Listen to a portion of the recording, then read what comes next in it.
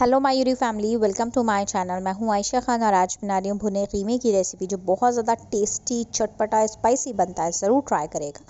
जिसके लिए मैंने दो बड़े चम्मच तेल के लिए, सरसों का तेल मैंने यूज़ किया, उसको अच्छी तरह से पका लिया है।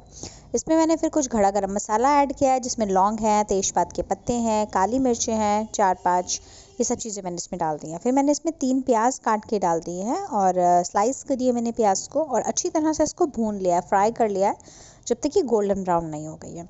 प्याज हल्की सी ब्राउन हो गई है तो मैंने इसमें कीमा डाला है। मैंने आधा किलो कीमा डाला है इसके अंदर, अच्छे से धोकर, और मैंने छन्नी में रखा था ताकि उसका सारा पानी निकल जाए।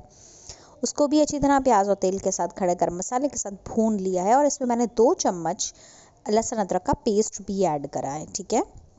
तो बस ये सारी चीज़ें डाल के अच्छी तरह से भून लेना है।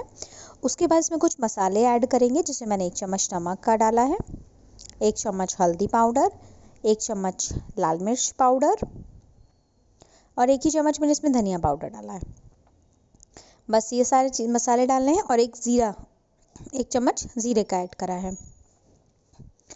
दो टमाटर मैं इसमें डाल रही हूँ क्योंकि मैं इसमें दही भी डालूँगी तो इसमें सिर्फ़ मैंने दो टमाटर का यूज़ करा है और इसको अच्छी तरह से डाल के सब चीज़ों को भून लेना है।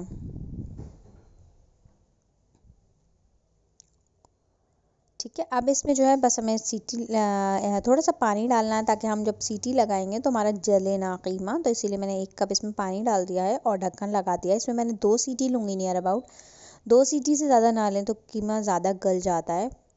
ठीक है? तो बस अब ढक्कन हटाना है इसका। सीटी मेरी आ गई है दो।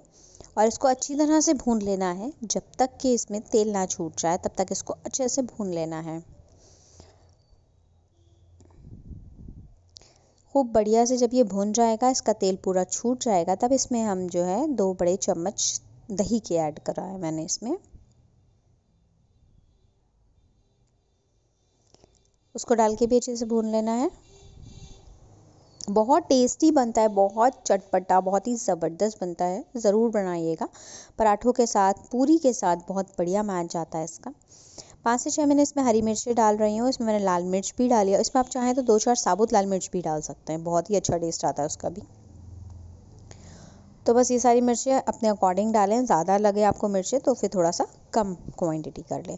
थोड़ा सा हरा धनिया डाला है इसमें मैंने और अच्छी तरह मिक्स कर लिया। बिल्कुल रेडी है फ्रेंड्स बहुत ज़्यादा टेस्टी बनता है। ज़रूर ट्राई करेगा और मुझे मेरे कमेंट सेक्शन में बताइएगा आप लोगों को मेरी ये रेसिपी कैसी लगी है।